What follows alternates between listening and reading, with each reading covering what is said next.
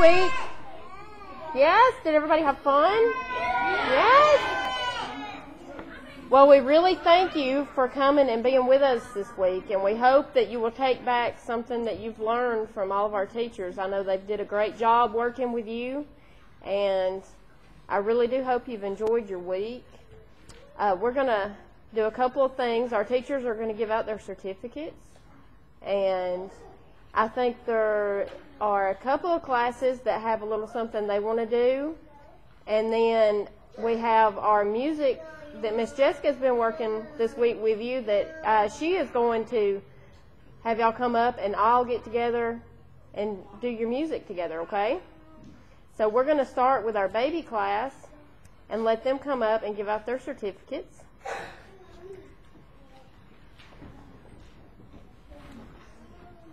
I had the babies class, and our kids were Aaliyah Smith,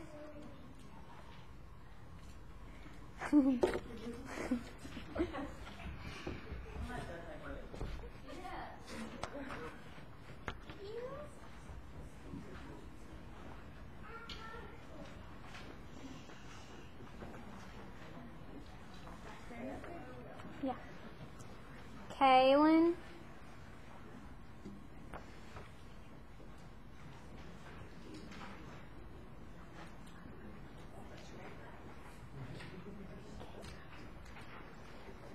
Noah Jackson,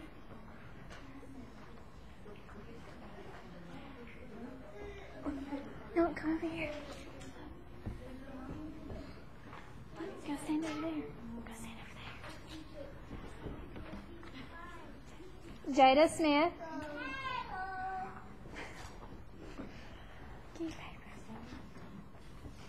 And Jasmine Smith.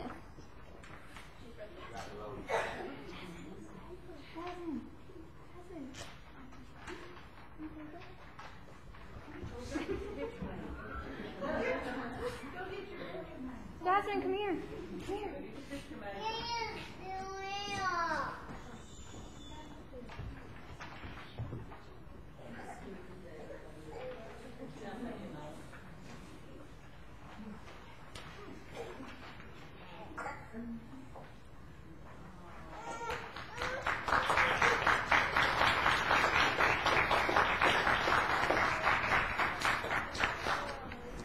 Next, we had our kindergarten class, and Miss Carrie was our teacher.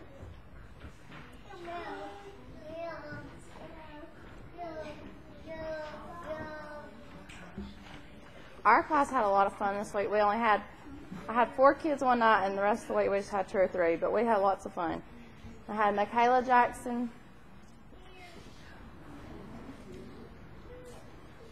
Then I also had Trinity Campbell, Campbell Jimmy Breedlove, and Alexa Walker, but they they couldn't be with us tonight.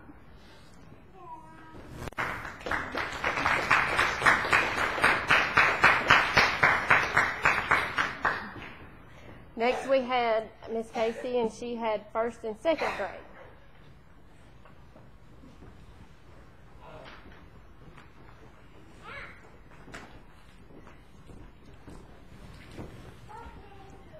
I had first and second, and my kids was Emily Ann.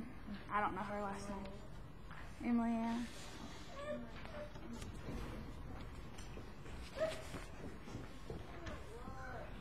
And Christian Jackson.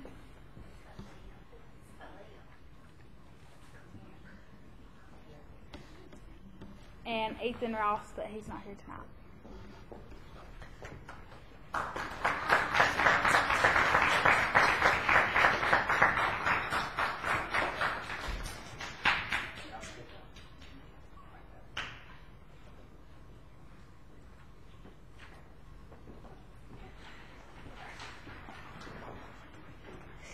Next, we had third and fourth grade, and Miss Megan was the teacher.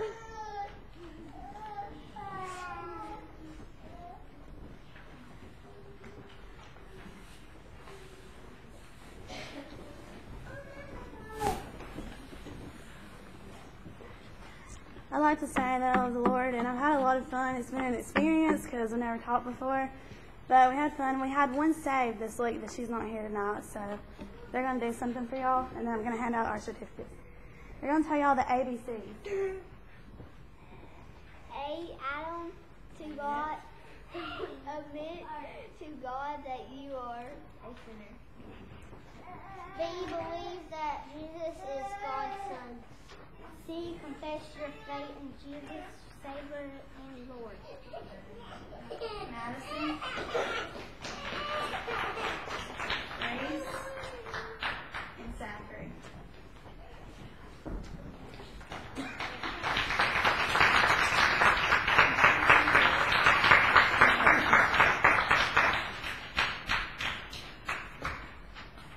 Our last group was a large group. It was our preteen class, and Miss Teresa was our teacher.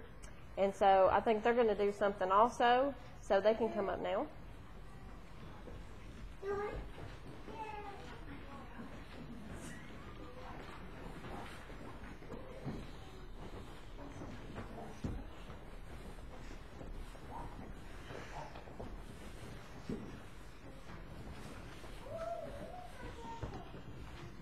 They're going to tell you a little bit about what they learned this week.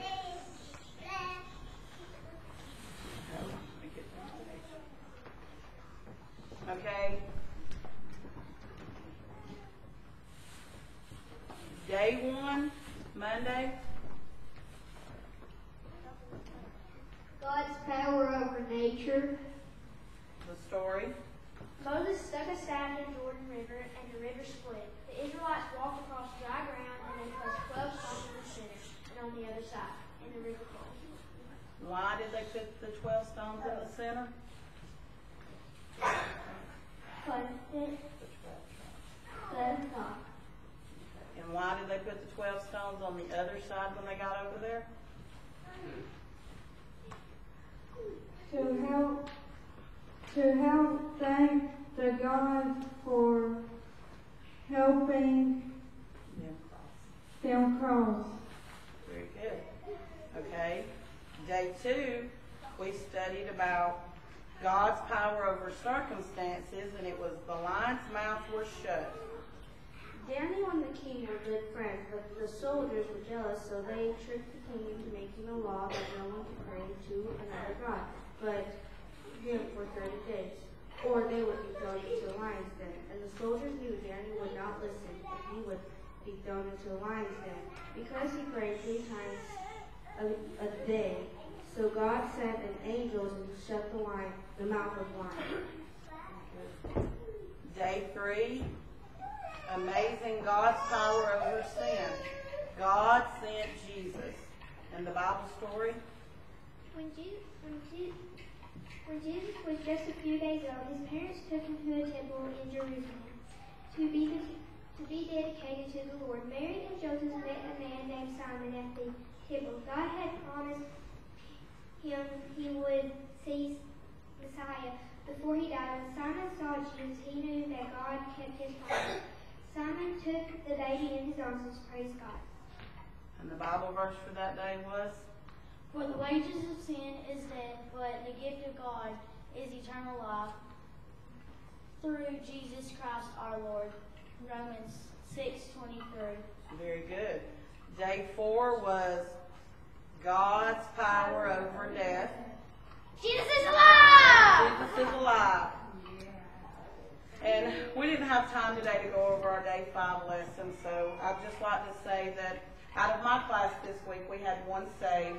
And um, they've been very good. They're an interesting class because they know more than you do. So they've taught me a lot this week.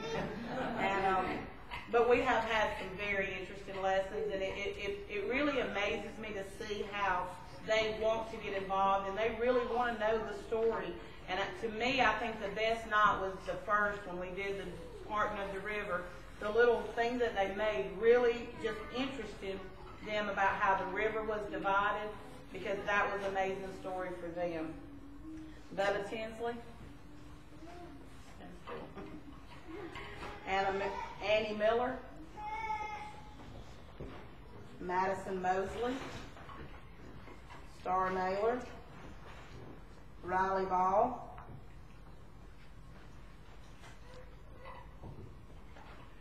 Kiana Gilbert.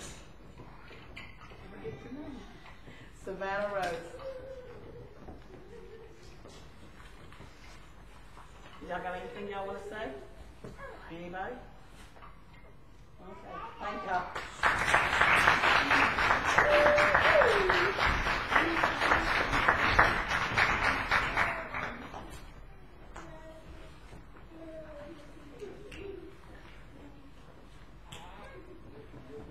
All right, before kids, y'all just come back up here. We're gonna have all the kids come up here, and Miss Jessica's gonna sit here on the front so that you can do your dance up here.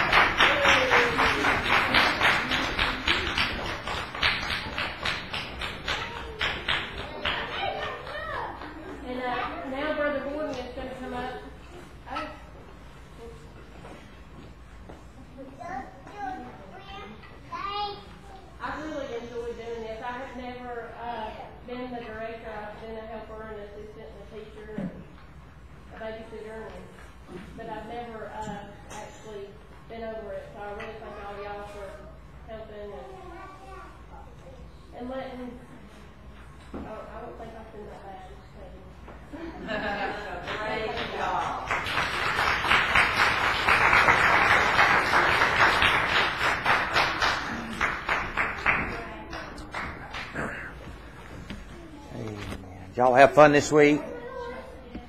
Yeah. Each night we try to share a little bit of the gospel with the kids before we left, and uh, we'll do the same thing this evening. We'll we'll give an altar call here in a few minutes. I'll try not to tax your patience very long.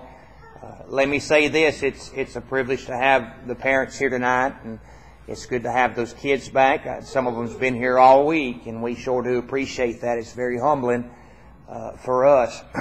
I, I, I begin to think over sitting on the bench a little bit ago, that uh, I don't know if I've ever been part of a vacation Bible school quite so good. It wasn't because of the teachers. It wasn't because my wife was the director. It sure enough wasn't because of me. Um, but I can't think of a Bible school where I can sit back and say we've seen three or four saved. If, if, you can sit back and see three or four kids saved, you've had a success. Amen. Uh, I, I, as we try to talk to these kids through this week, and as some of them would come up and uh, ask us questions, and, and as they would begin to seek out about salvation and seek out about how to find the Lord, uh, I find myself always in a, in a bad spot because my biggest fear is to guide them in the wrong direction. And so I, I would always tell them that it was not up to me, it was up to God, that God had to save them, it had nothing to do with me.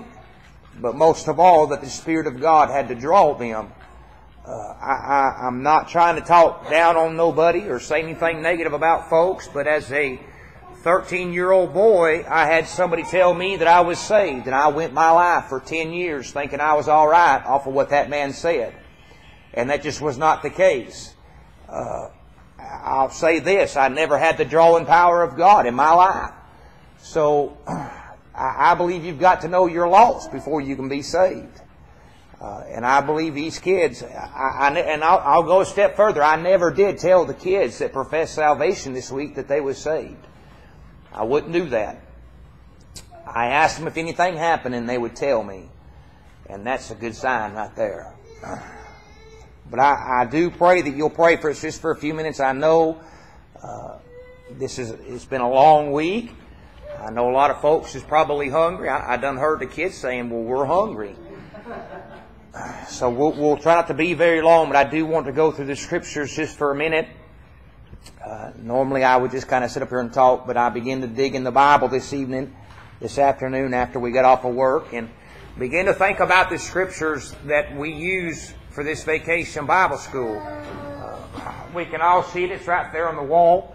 the people from the church know I, I, I get, I'm a slow starter. I'm very nervous standing up here a lot of times.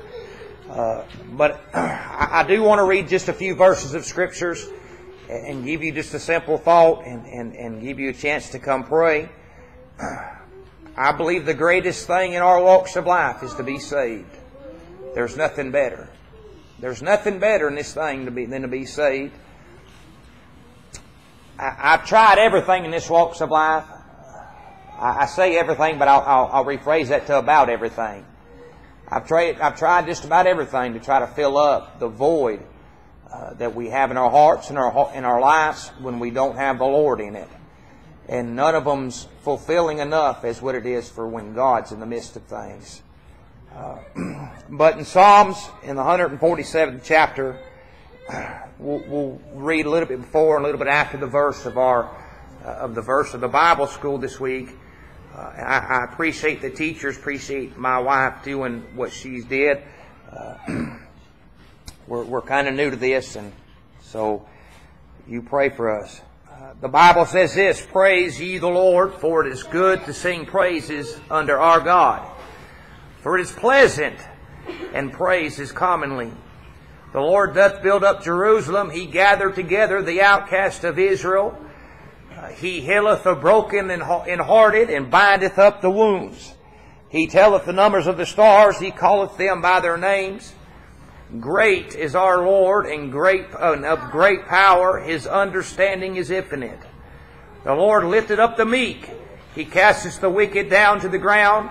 Sing unto the Lord with thanksgiving. Sing praises unto the harp uh, unto our God, who covereth the heavens with clouds, who prepareth rain for the earth, who maketh grass to grow upon the mountains. He giveth to the beast his food, and to the young ravens which cry. He delighteth not in the strength of the horse, or taketh not pleasure in the legs of man.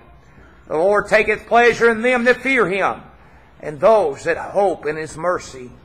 And that's as far as I want to read this evening. We realize and know that it was that uh, fifth verse, and I'll read it again, that, that our vacation Bible school was gathered around. The Bible says, Great is our Lord, and of great power his understanding is infinite. And I begin to ponder on these scriptures this afternoon and begin to think about things in my life where God's come in the midst of it and begin to think about the times that God's just showed up and showed out.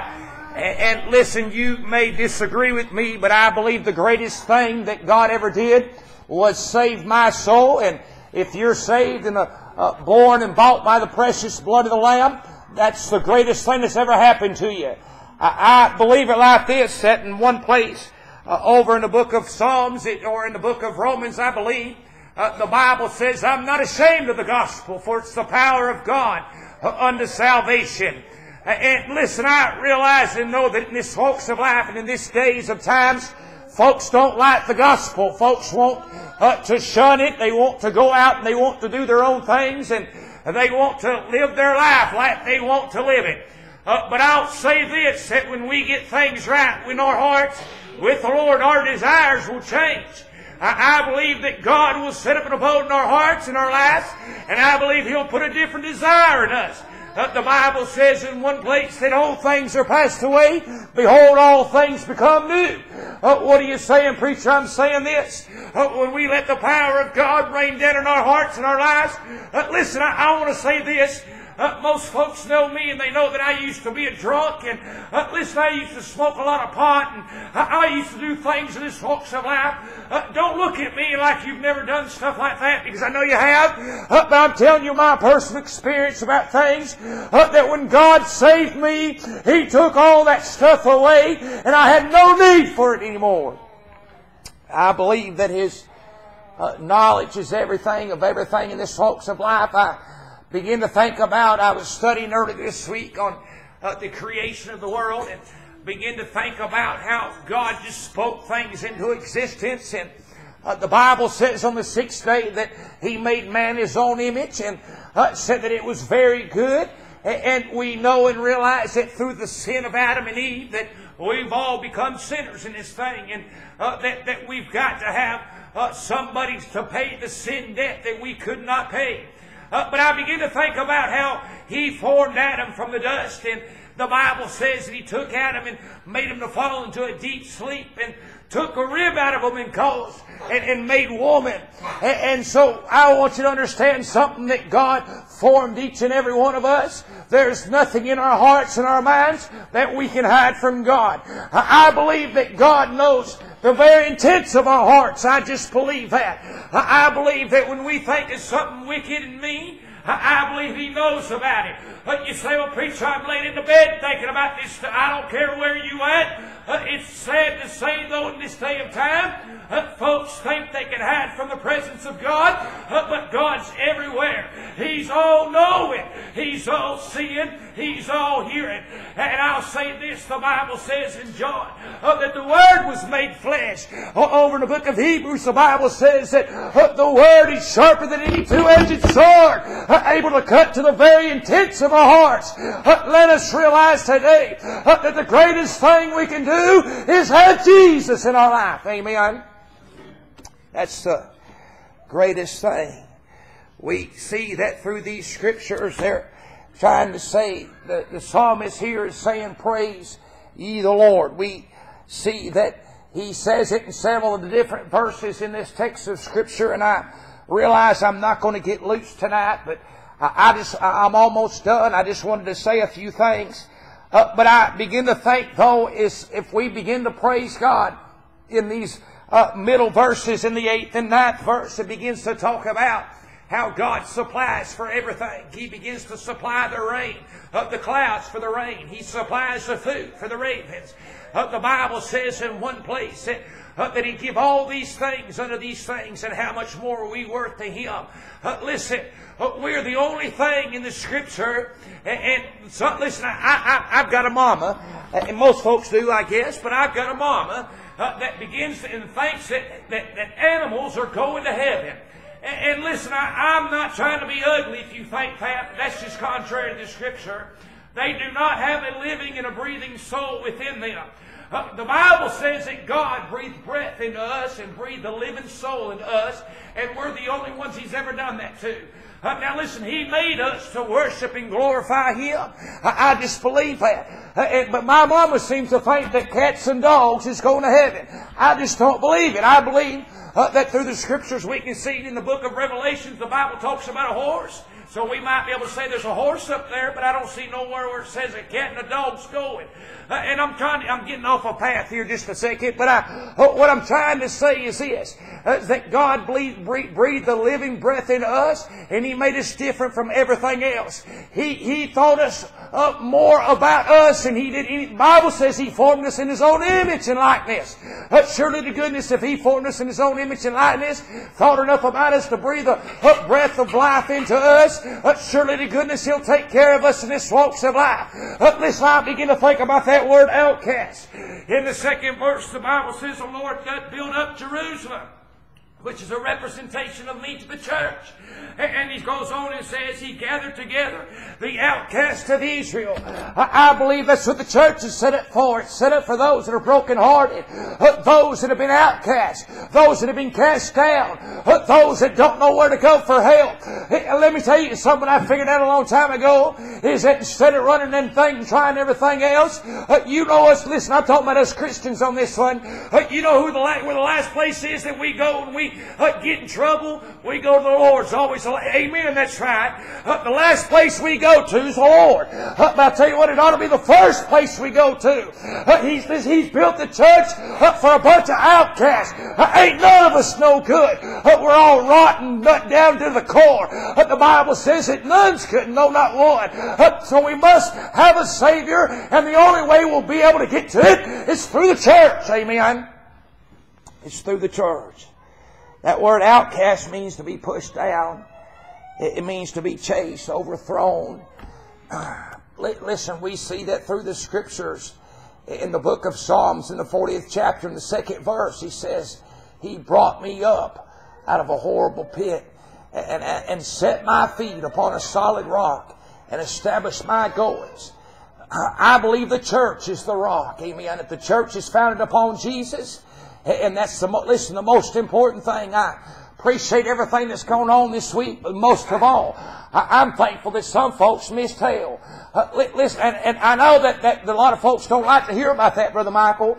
They don't want to hear about hell. They say, well, preacher, you're going to scare us. You're going to scare our kids. I, I want you to understand that hell is a real place. Real folks is going there, and real folks is going every day. Uh, the Bible says it's according to the man to die once and then the judgment. Listen, we're going to face the judgment seat of the throne one day, and he'll either say, enter in, you good and faithful servant, or depart from me, you work of iniquity. Uh, listen, the church is built up for outcasts just like me and just like you. Amen. See, when I had no hope in this thing, He gave me the hope I stood in need of. When there was nowhere else I can turn to, God said, turn to me.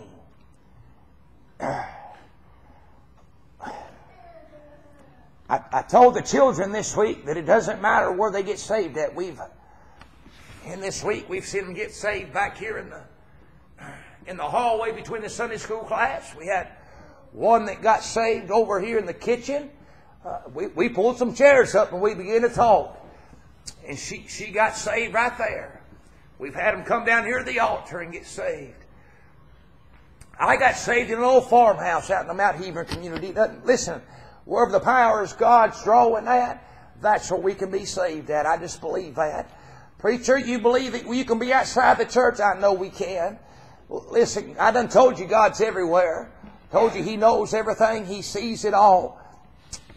But He's looking, looking, He's looking for the outcast of Israel. He's looking for those that are cast down, that's got no hope in this thing, that don't know where to turn. The Bible says He takes pleasure in them that fear Him, in those that hope in His mercy. What, listen, it's by the mercies of God that we're saved.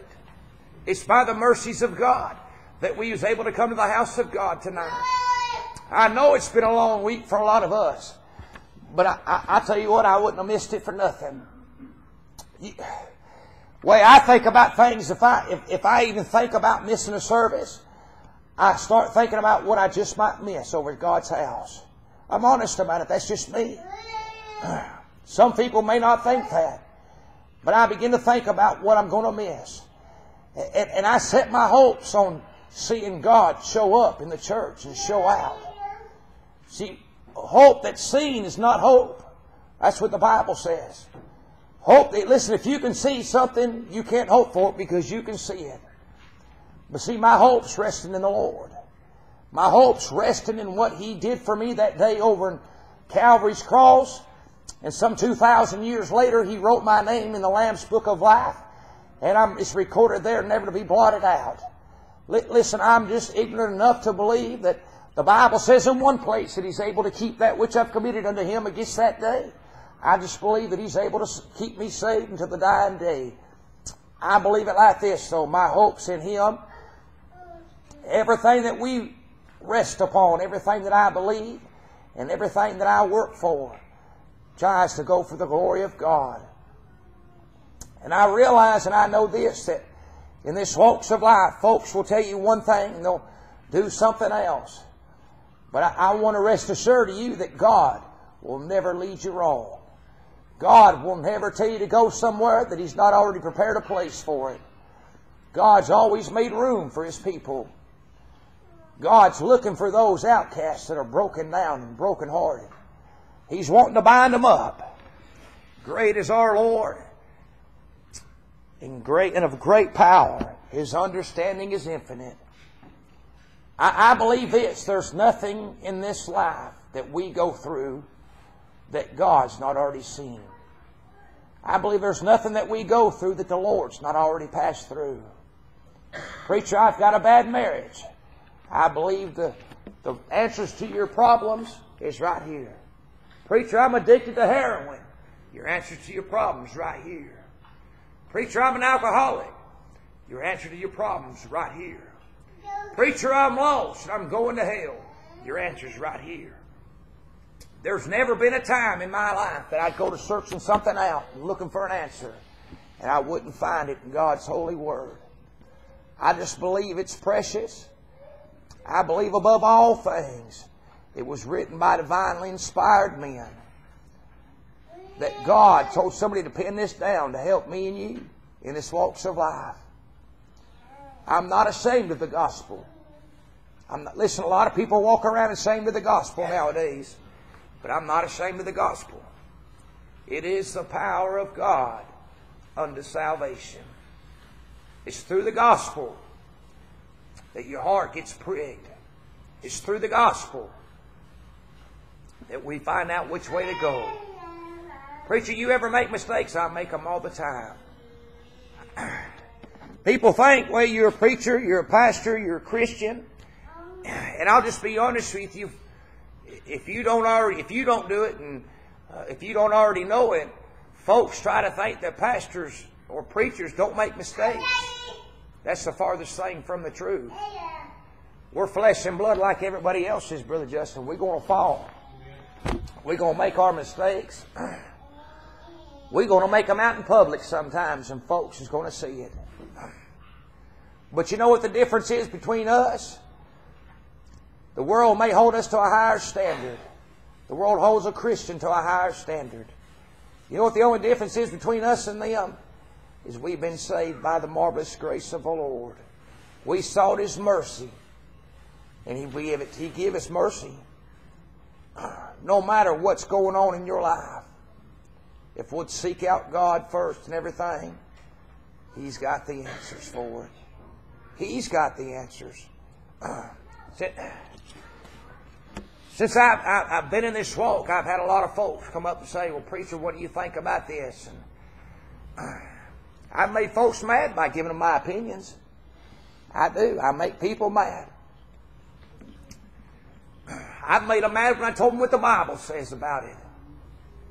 I'm not a very good counselor, but I know one that is. Amen. I know one that is. Through everything that we go in this walks of life, God's searching for the outcast. He wants them. He's begging for you to listen. The Bible says in one place, it's not His will that any should perish, but all come to everlasting life. I just believe that. I believe it like this. The only reason He's still sitting on the throne of grace and the throne of mercy today, He's waiting on somebody else to get saved. It's by His mercy and His grace. Listen, He can come and get the church and we can go home and be done with this thing. But I think He's trying to let some more folks get in. I just believe that. Preacher, I, I, what's, I, I, I got saved when I was young, but I've not been in the will of God for many years. You don't have to be like that no more. The Bible talks about the prodigal son. One, one of the best one of the best stories we'll ever read through the scriptures. The Bible says that he come to himself in the hog pen. When we get tired of being in the hog pen and we come to ourselves, we'll come back to the Father's house. I just believe that.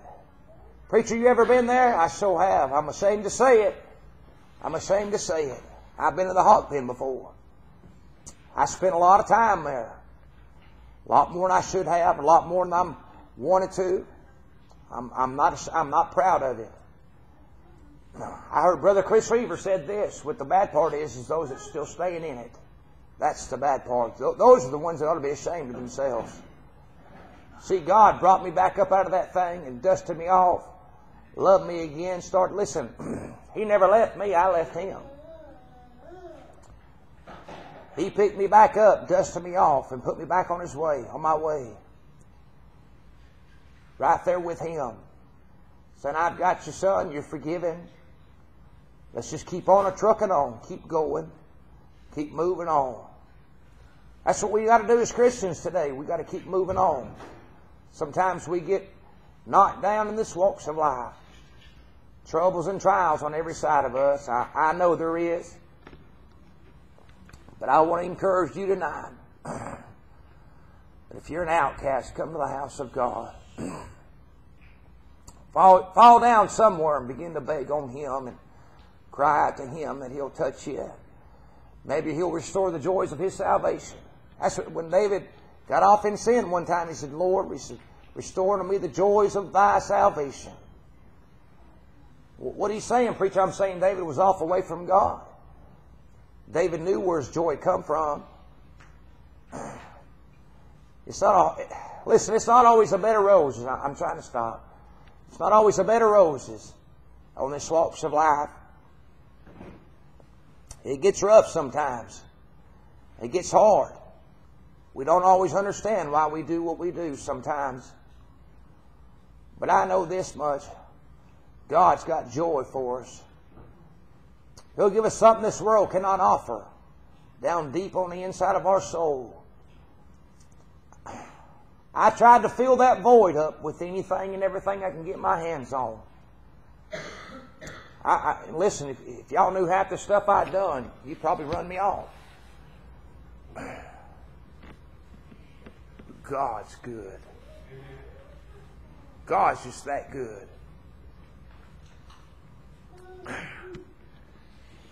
I thought I could hide from them. I did.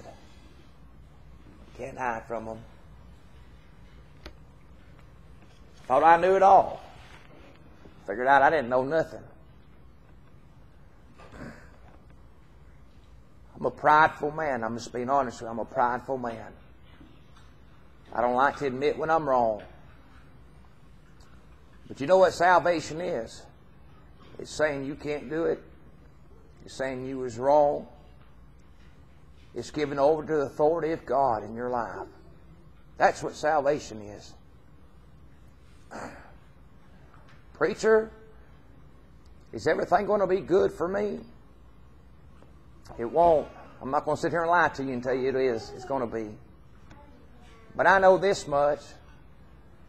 There's grace for every need. Grace is free, unmerited favor of God. He's got grace for His people, don't He? He's got grace. When we feel like we can't go on no further, He'll give us the strength to keep moving on. He's just that good. He's just that good. Everybody stand up. I, am done. I, didn't aim to go that long. I, I don't know where you stand at in life today. I don't. I'm not trying to scare you. But I pray the Holy Spirit gets a hold of you and shows you where you're at in your life with God.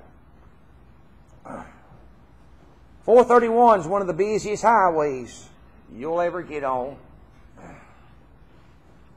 I do a lot of traveling in my job up to northeast corner of Tennessee, all the way down to South Alabama, over in Georgia, Mississippi. I travel all over the place. And 431 is probably one of the worst roads I'll ever come across, especially on a Friday afternoon. There's more accidents on that road. Probably, listen, I, I know that road runs all the way down to South Alabama to a place called Dothan. And there's an intersection down there in Dothan. They say it's one of the deadliest intersections in the country. We're talking about 431. So I, am I'm pretty confident to say this. There's probably more deaths on 431 in the state of Alabama than there is anywhere else. And most of us is fixing to jump right back on it. Most of us fixing to go out there and get either cross it, go down it one way or another. If God called you out of this life tonight, are you ready? He knows where you're at. He's the only one with the power to save you. It's through what Jesus Christ did on Calvary's cross. He's the only one. Brianna, Bubba, come, come up here, please. Bubba, come up here, please.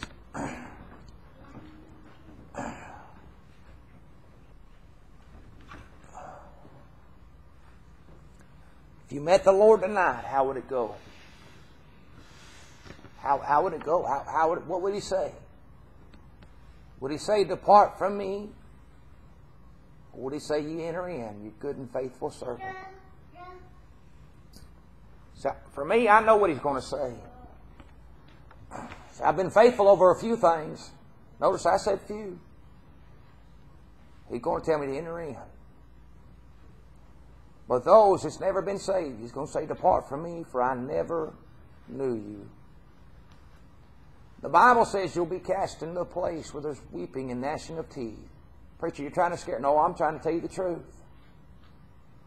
I, I know that folks in this walks of life don't want people to tell you about hell no more. But it's still the truth. That rich man that the Lord talked about, he said there was a certain rich man that fed sumptuously every day. He had everything in this walks of life he could ask for. The Bible says he died and was buried and lifted his eyes up in hell. I don't know how you see that scripture, but me, I believe there was a little or rich man. The Lord didn't say that was a parable. He said there was a certain rich man. I believe today, as we're fixing to give an altar call, that rich man's looking up from the depths of hell, wishing he had one more opportunity. He's been there for thousands of years. You know what else? He'll be there for thousands of more. The Lord is great. His power is all powerful. He knows it all. God's been good to me in my life. He gave me two beautiful children. He gave me a wife.